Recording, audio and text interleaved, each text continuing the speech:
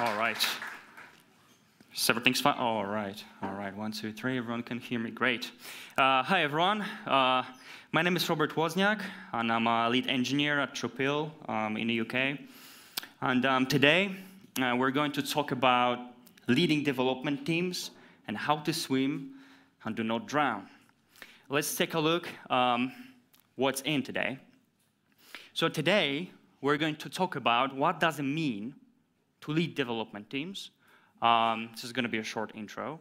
And um, second one is going to be team communication, um, team trust and alignment, balance between control and freedom, teamwork, the monkey, one of my favorite ones, and at the end, we're going to touch approach to code reviews. All right, so what does it mean to lead development teams? So we've got five significant points. The first one is the trust. So when you're thinking about trust, um, you should ask yourself two vital questions. Do you trust your team? And do your team trust you? Because if there is no mutual trust, um, the cooperation is not going to work as you expect it to do. The second one is motivate. So, in my opinion, when you are a lead, your responsibility is to give your team the strength and lift them up wherever you can. The, third one is give a chance. So, being a lead um, gives you an opportunity to change lives, actually. It gives you an opportunity to change lives. So, by giving a chance, you might achieve something with your team that is going to be amazing and it won't be forgotten. The fourth one is mentor. So, apart from actually giving a chance, um, you should act as a mentor. So tell your team members um, what they've done wrong, uh, what they can improve, be honest with them, and have an impact on their knowledge and the career progression every day. The fifth one and the last one is communicate. Um, so if you are a lead, there's no place for dishonesty. Transparency and honesty should be the first ones in the queue if you're leading the team every day. And communicate uh, leads us to the second point, which is team communication. So, team communication covers two subtopics delivering sensitive news and communicating criticism and appreciation. So, delivering sensitive news, um, the first point is prepare words carefully. So, before you actually stand in front of your team and other people uh, when delivering sensitive news, when something happened or something is going to happen. Um, you should take a note of the words you're going to, to say because they might have an emotional impact on your team members and on other people who's going to listen to it. And the second thing is to prepare questions that your team might ask you while you're delivering the sensitive news because it is important because um, if they ask the question, they expect you at this very moment to give the right answer. So it's best if you prepare the words and prepare the questions, as many as you can. The second one is who receives information. Well, this one is um, is important one in terms of the time of the developers. So let's say that um, mate from the from the team A uh, left or is going to leave, and um, he's got strong relationships with some people. And there's also Team B. Uh, and this, this person didn't have, for example, um, a strong relationship with Team B. Okay? So you're not going to bother Team B with this news. You're just not going to go to them. You're not going to schedule the meeting with them to tell them, all right, the mate from the Team A is leaving. So you're just going if, if you do that, you're going to waste their valuable time. And also, how can you know that actual that actual team, the mate from the team A, is uh, not having strong relationship with the mates from the team B? Um, well, as a lead, you should observe every day. You should see who they've got strong relationships with. The third one is who will be affected. This one is important one. Um, so let's say that um, in one of the teams you've got Dave and Jack, and Jack is leaving, but he's a friend of Dave, all right? But he didn't tell Dave that he's leaving, so imagine if you deliver this sensitive news, how is this going to affect Dave and how shocked Dave will be, all right? So it might bring his motivation down and it might bring him down totally. Uh, so he's not going to be able to work for a little bit mm, properly. So what you're going to do, you should go to Dave and actually tell him individually, face to face, that this is something what you're going to announce and that Jack is going to leave the company. All right. So then Dave can live with that, and and before you actually and when you deliver the news, uh, he's gonna know about it, and he's gonna be okay because he processed this before when you told him. The second part of team communication is communicating criticism and appreciation. So we've got feedback diagram, and this feedback diagram um, is going to help you to prepare yourself for the feedback face to face with the team member. So we've got first, first step, it's observation of behavior.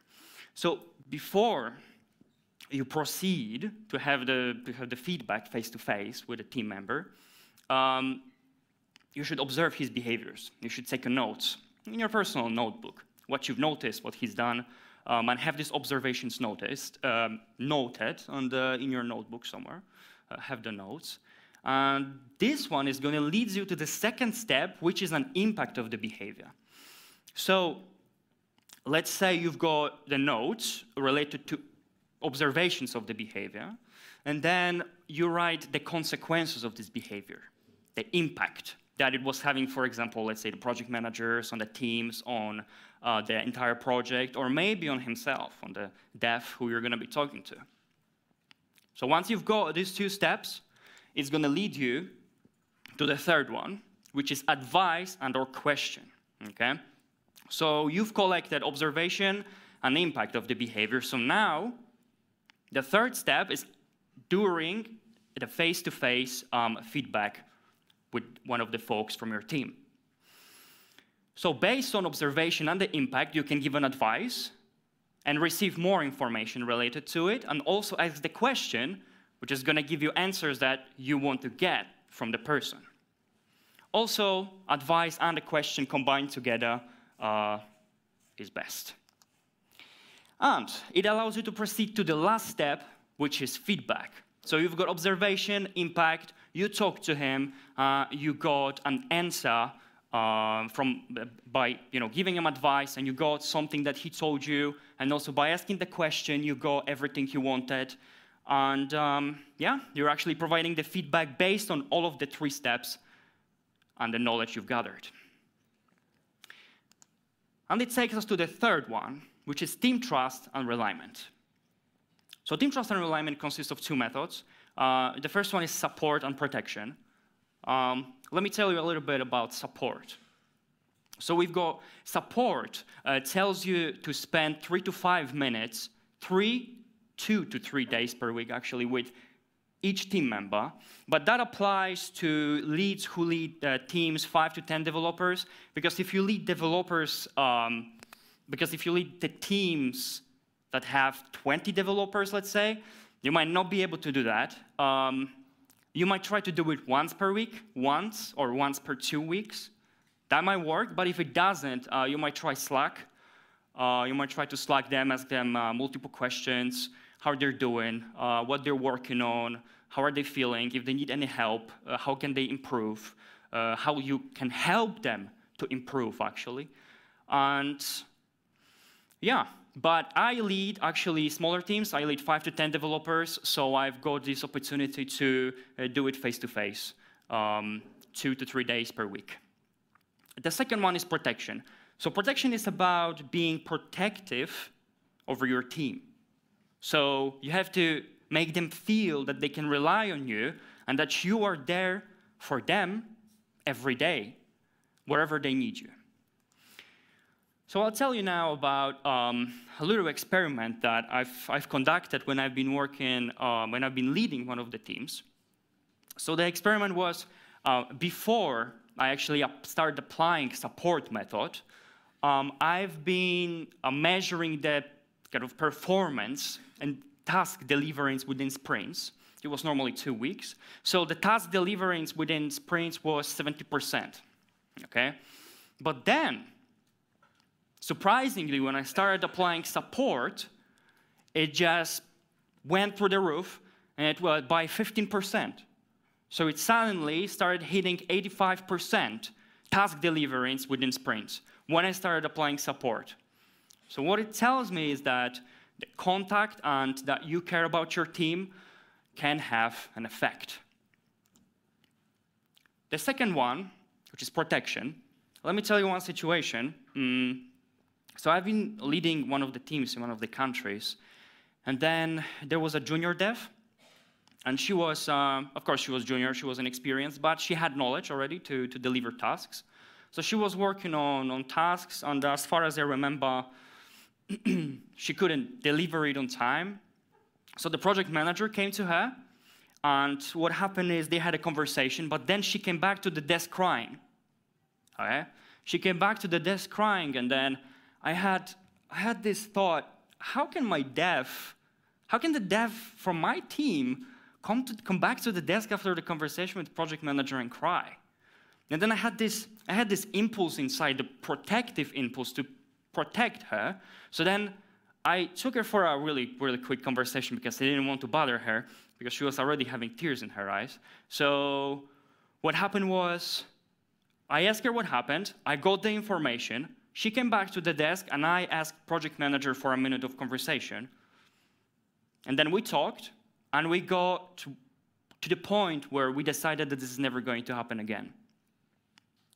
So I spent maybe eight to 10 minutes, uh, pro, I spent eight to 10 minutes on protecting one of my team members and having the conversation with project manager, and it never happened again. Eight to 10 minutes, and I resolved the situation, and never happened again. Never. The fourth one, we've got balance between control and freedom. So here, I'm going to introduce you four leadership methods that you can apply, or maybe you know someone who is already doing that. The first one we're going to talk about is abdication. So abdication applies to leaders who, who's got hands-on, and they lead the team. I mean, they've been assigned to lead the team, but they don't really have time to do that. I mean, it's not their fault. It might be because they are overloaded with the tasks, um, so they, they just don't have time to do that. So abdication is kind of like you don't assign tasks to your team. They have to choose on their own based on priorities. Um, the second thing is uh, you don't support. You don't offer much support because you just don't have time for that. And also, um, you don't control and you don't monitor what they do, actually. So it might get out of hands um, when you apply abdication to leading your team. The second one is empowerment, where empowerment is not much different, but it's got one um, different point that applies to abdication. So the difference is, in abdication, you don't offer support, you don't monitor, and you don't assign tasks. In empowerment, on the other hand, you offer support wherever you can.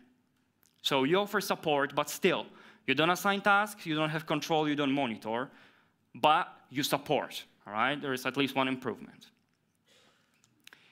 The third one is delegating.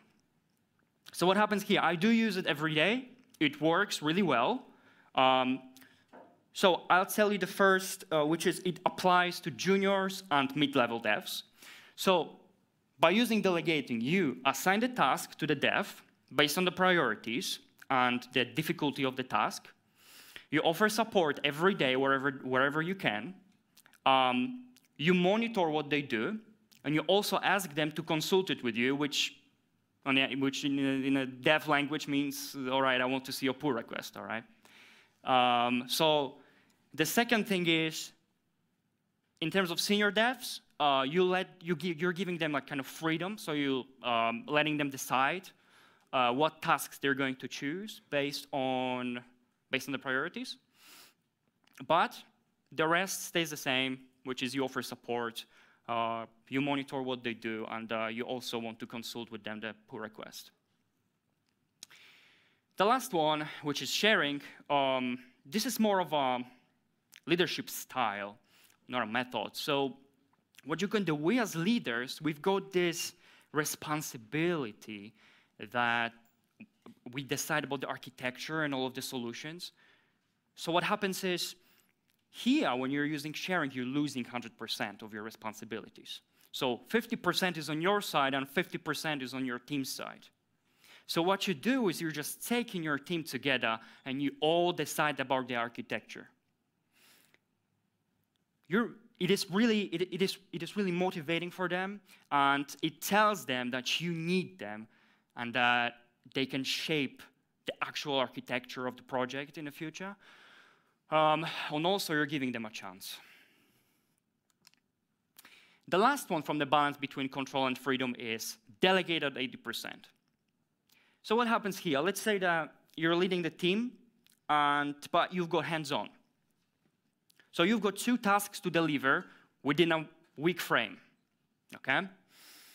But task A, you've delivered at 80%, but then it's still task B that is waiting for you to be started. So what's going to happen? You're going to find a team member who is going to be able to finish 20% left of your task, and then you can jump on the task B and try to deliver it on time. The fifth one this is teamwork. The monkey. So, will the monkey jump on your back? And how to stop the monkey? Well, this is my favorite one. I'll explain you in three steps how you can avoid taking the monkey on your back and how you can actually resolve really specific issues. The first one is suggestion. All right, so now let's say that um, Jack, one of your developers, is coming to and he's saying, hey, listen, Rob, I don't think I can finish this task. I need your help. Can you do it for me, please? And you say, hmm, yeah, all right. Leave it with me, Jack. Leave it with me. And then you see what's happening. You're saying, leave it with me. So you're taking monkey on your back. You're taking full responsibility of his task on your back. So you have to deliver that, not him anymore. It's you. So instead of saying, all right, leave it with me, I'm going to do it for you, um, you can say, you can offer suggestion and say, what if you do it in that way, and did you try this way? Uh, what if you can approach it in a different way, all right? So lead him to the solution, but don't give it to him, all right? Suggest where is the solution. Give him a path, but don't tell him that. Give him a suggestion, and then say that you're going to follow up with that, for example, at the end of the day or tomorrow morning, uh, so you can see where he's at. Okay. The second one is the plan. Wow, plan. That's something bigger. That's something that is not like a task. It's something way bigger. So plan uh, let's say that you gave a task because you're giving a chance as a lead, as we talked about it, give a chance. So you're giving a chance to someone, uh, let's say to Jack, you're giving a chance to Jack to come up with the basic architecture of the project, all right? But then Jack is struggling and he's coming to you and he's saying that he needs help um, if you can help him to come up with this plan. But then you're looking, you learned, you learned that you're not going to say to leave it with him, to leave it with, with me. You're not going to say, leave it with me. Um, so you're just going to ask him, for example, that's this example question, how much time will it take for you to come up with this plan, with this plan of basic architecture? And he's going to say, um, I need day more or two, two days more. And then you're going to say, all right, all right, listen, Jack, tomorrow, tomorrow morning, I'll give you one day more. And tomorrow morning, I'll, I'll, I'll come and take a look how you're doing and uh, we'll see what we can do then. And then Jack is well, leaving happy. He's got one more day. He's probably going to come up uh, with the plan because uh, seems like he seems motivated. You're giving him more time, chance, and he sees the opportunity in actually designing the basic architecture of the project. But there might be two situations that's going to happen. The first one is he's going to do it. Everyone's happy, no problem. The second one is that he's not going to do it or he's going to do it and he's going to be halfway through this. So, when you're going to come to him, you can sit with him. If you've got a time, to plan this. But if you don't, you might want to uh, try to find an actual experienced dev who's uh, free to sit with him, pair with him, and, and try to come up with a plan. The third one is authority. All right, so pass on authority. So let's assume a situation that, where we've got Dave and we've got Jack. Okay? And Jack is coming to you and he's saying, Rob, I've got 80% task done, but I need to, I've got the 20% left depends on the designer, on Dave, but he doesn't have time to schedule this with me. And then you're thinking, all right, let's go. So you're taking Jack to the, to the designer, actually, and then you're asking Dave, hey, listen, um, we've got kind of tight schedule. Could you schedule the meeting with Jack? He really needs you to finish this task. And then Dave might schedule this, might actually schedule, because you're passing on authority. See what it means? It means that if you as a lead coming to him, it means for Dave, it means that it's something really serious, that you, you really need it right now. Um, so, and then Dave is scheduling the meeting, Jack is leaving happy, you're leaving happy, everyone's all right. The last one, which is approach to code reviews. Um, me as a lead, I've been reviewing uh, tons of, of code and um, tons of pull requests, and this is from my um, personal experience. So the first one is extensive feedback. All right, so always, always, when I, when I review pull requests, I always provide huge feedback.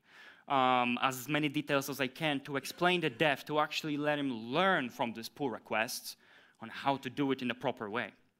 All right? But do not overdo. If you see that it is, you're writing a book basically, do not do it. Don't do it. Write as much as you can, but also provide the links that can you know, help the dev to see your point um, and increase his knowledge. The second one is 500 lines of code yeah, this one is uh, this one is awful sometimes. So what happens is, um, many times I've received pull requests where I where I had to review 500 lines of code, and it's like you're just scrolling down, you're just scrolling down, you're scrolling down, and there's 500 lines of code all the time, all the time, all the time. Oh my goodness! All right, so do not review 500 500 lines of code. Don't do not do that. Um, but review as many as you can, as many as you can. I'd say you're to start getting maybe tired at 300, 250, or even 200. It really depends on uh, uh, how you're feeling right, how you're feeling at this very moment. Um, so try to review as many as you can. And let's say that you've got two more pull requests, but the second one is having 50 lines and the third one is having 150. So what you're to do to avoid having stack of pull requests um, and delaying the process, you can review, for example, 200 or 250 lines of code and then jump on a second pull request, the 50 lines of code. You can finish that, approve or request change, and then you're going to finish, it, finish one and take it off the stack. And then you're going to have uh, this 500 lines of code left for tomorrow.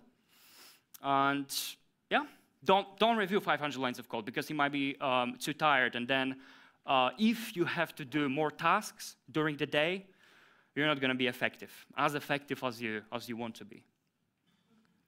The third one is tiredness and inability to concentrate. All right, um, do not do that. Seriously. Don't sit to do code reviews while you're tired or you can't concentrate.